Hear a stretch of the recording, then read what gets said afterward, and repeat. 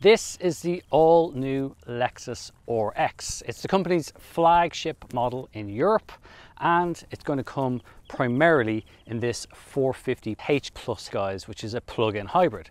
It'll have 309 horsepower and up to 65 kilometers or thereabouts of electric only driving range. It's got a lot of equipment and quite a lot of safety features, which we'll come back to in a moment. But first of all, we want to talk about the design.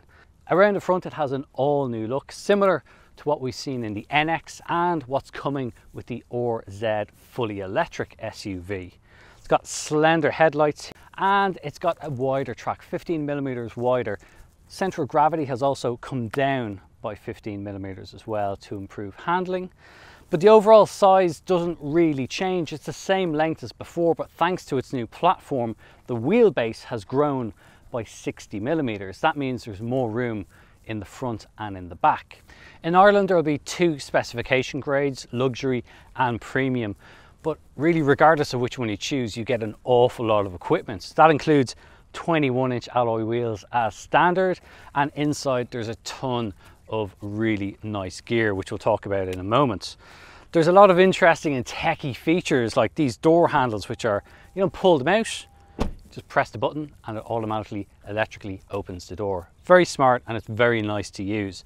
But the design overall is, well, it's softer than before. We've had Lexus cars that have really been defined by sharp creases, taut lines, and it's kind of softened up. You see it the way it rises up here and how this all comes back. It's similar to the previous generation.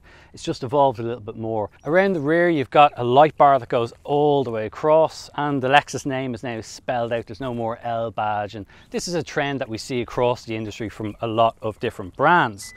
The boot is electrically operated as standard and inside there's no reduction in boot space because Lexus designed this to be a plug-in hybrid from the outset. So there's no compromise when it comes to how much boot space you have. You can also drop the rear seats down electrically via these buttons on the back, just adds to the sense of convenience. When it comes to interiors, Lexus has a very solid reputation and it's no different inside this model.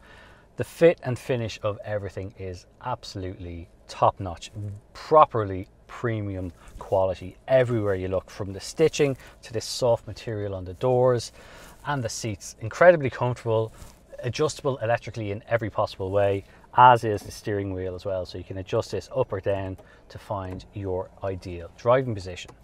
The layout of this is pretty much the same as what we've seen in the NX. So you have this really large central touchscreen display. It's nicely positioned. It's got everything you'd want in it. You can have your Apple CarPlay, your Android Auto in there. You've got a partly digital instrument display in front of you. Again, all the essentials are there and a very good high definition head-up display as well. That's all adjustable via these touch pads on the steering wheel. And normally I don't really like touch pads, but it actually works pretty well on this because as you're going through, rather than having a festoon of buttons, as you touch them, it will present you in the head-up display exactly what it's doing. So you're not having to look down, you're not having to take your eyes off the road. Speaking of your eyes, there's also a driver facing camera system here. You can't really see it, it's behind this infrared panel, but that keeps an eye on what you're doing. So it's making sure you're not looking down at your phone or distracted, or maybe if you've had a medical incident, for example, it can detect what you're doing. It will give you an alert if it detects that, hey, you're not looking at the road.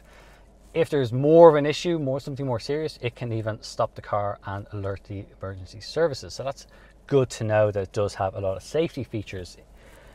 The interior layout in the center console then, you've got, well, two big cup holders, you've got USB-C charge ports here, you've got a wireless charging pad in here, more USB-C and A charge ports and a 12 volt socket.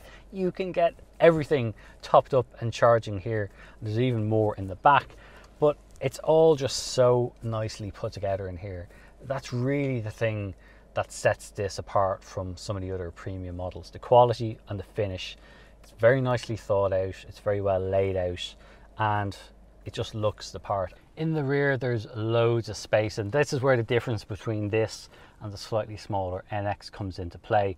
That stretch I mentioned of 60 millimeters in the wheelbase means I've more leg room in here for reference, I'm five foot nine and I'm sitting behind the driving seat as I would be sitting in the driving seat. So I've I can just about touch the seat in front. I have a lot of room here. Headroom is very, very good as well, thanks to the way they've shaped the interior.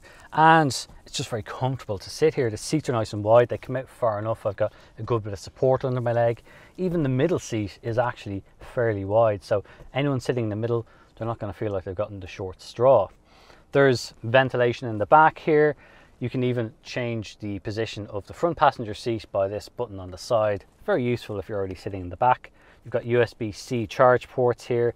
In this particular version, I've got heated and cooled rear seats and even a 220 volt power outlet. So there's no reason why you can't be back here either as kids enjoying having all your devices or as a mobile office. It's got everything.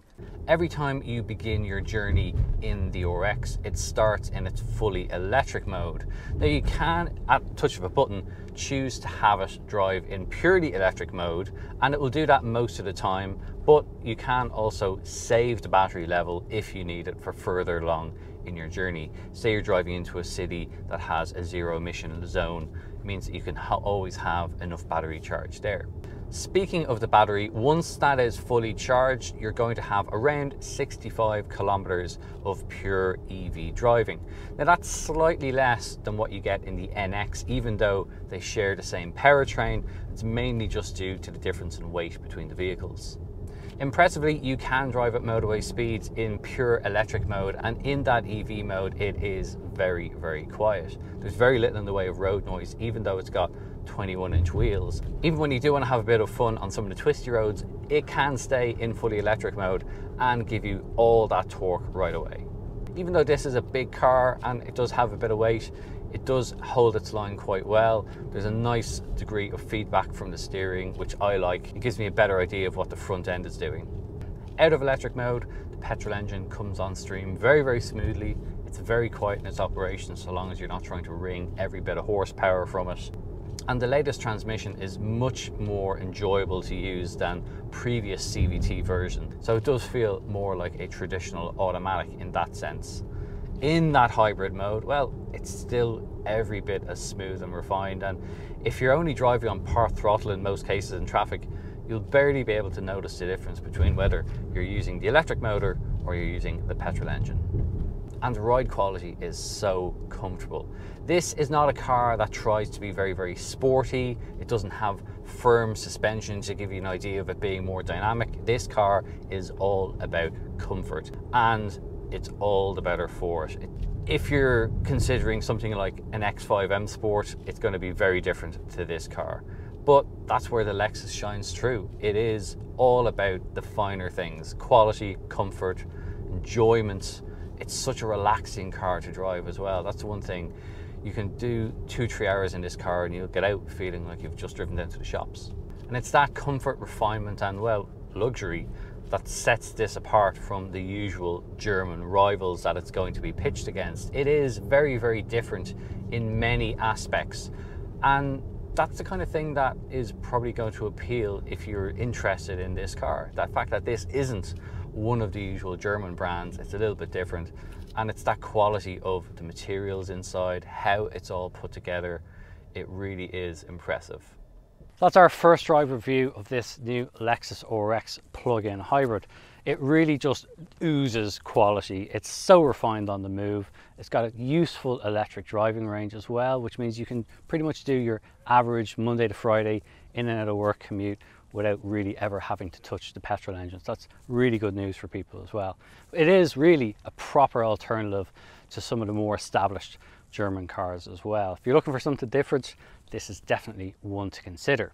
If you want to know more about this car or any of those rivals, head to our website. It's completecar.ie. You'll find it linked in the description below and it's a great resource for finding your next new car. In the meantime, we'd love to know more about what you think about this car, so do get involved in the comments below let us know what you think. Thanks for watching.